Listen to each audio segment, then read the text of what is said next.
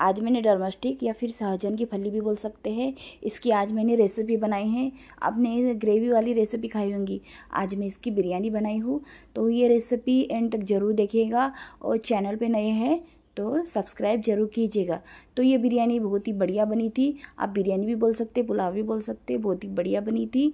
इसे आप ज़रूर ट्राई कीजिएगा। और जो इसकी डरमस्टिक की जो फली है ना, मूंगनी की फली भी बोलते हैं मराठी में तो ये इसमें ना इतने सारे विटामिन होते हैं कि बहुत विटामिन होते हैं तो आप रेसिपी ज़रूर ट्राई कीजिएगा। और ये रेसिपी बहुत ही आसान है, बहुत ही बढ़िया है, इसे आप ज़रूर ट्राई कीजिएगा। चलिए देखते हैं इसे मैंने कैसे बनाया है। यहाँ पर डरमस्टिक के फली को ऐसे कट कर कर रख दिया है और इसकी ऊपर की जो परत है वो भी निकाल दी है यहाँ पर कुकर में तेल डाल दिया है, प्याज डाल दिया है तेज पत्ता डाल दिया है। प्याज दो से तीन डाले हैं मैंने तो यहाँ पर प्याज को हम अच्छे से भून लेंगे। अब इसमें डाल देंगे एक चम्मच जीरा। इसमें डाल देंगे दो चम्मच अदरक लहसुन का पेस्ट। यहाँ पर अच्छे से मिक्स कर लेंगे। यहाँ पर देखिए सभी चीज़ें अच्छे से मिक्स हो चुकी है। अब इसमें डाल देंगे ये मूंगने की फली डरमस्टिक डाल देंगे। तो यहाँ पर डाल दिया है, अब इसे मिक्स कर देंगे। यहाँ पर देखिए, सभी चीज़ें बहुत अच्छे से मिक्स होने के बाद में अब इसमें डाल देंगे। मटर के दाने डाल देंगे। मटर मैंने फ्रेश वाली मटर ली है। अगर आप फ्रोज़न मटर यूज़ करना चाहते हैं तो आप जब पानी छोड़ेंगे ना, तब डालना है। अभी नहीं डालना है फ्रोज़न मटर को। तो यहाँ यहाँ पर मटर डाल दिया है। आप आलू भी डाल सकते हैं, गोभी भी डाल सकते हैं। यहाँ पर टमाटर डालिए दो।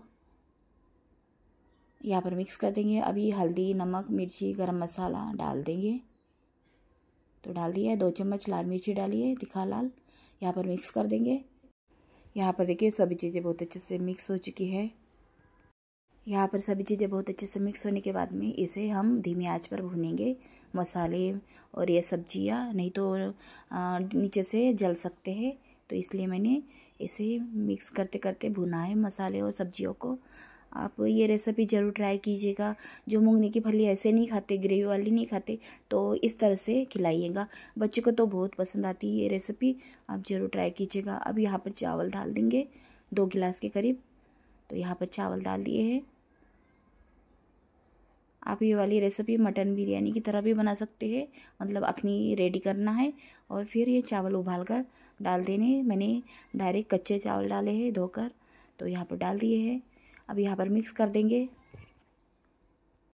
यहाँ पर मिक्स करने के बाद में इसे दो से तीन मिनट तक अच्छे से भुनेंगे धीमी आँच पर।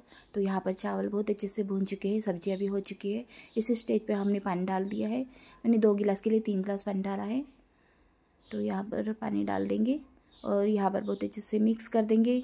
मिक्स करने के बाद में इस डाल देंगे कड़ी पत्ता, कसूरी मेथी डाल दी है और यहाँ पर मिक्स कर दिया है। आप इसमें हरा धनिया भी डाल सकते हैं। तो यहाँ पर देखिए बहुत अच्छे से मिक्स कर देंगे। और यहाँ पर आधा नींबू डाल देंगे। इससे जो चावल है ना, बहुत ही खिले खिले बनते हैं, चिपचिपे होते नहीं हैं और खिले खिले हमारी खिली खिली बिरयानी हमारी यहाँ पर रेडी होती है, पुलाव हमारा यहाँ पर रेडी होता है। तो यहाँ पर आधा नींबू डालने के बाद में मिक्स करने के बाद में यहाँ पर ढक्कन लगा देंगे और यहाँ पर दो सीटियाँ होने देंगे। तो यहाँ पर मैंने कुकर में बनाई, आप ये गंज में भी बना सकते हैं। तो यहाँ पर देखिए, दो सीटियाँ हो चुकी है।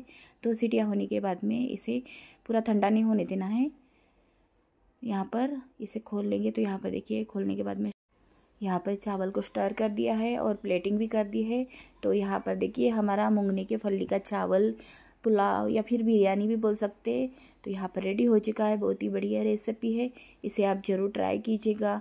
चलिए फिर मिलते हैं नेक्स्ट वीडियो में तब तक के लिए असला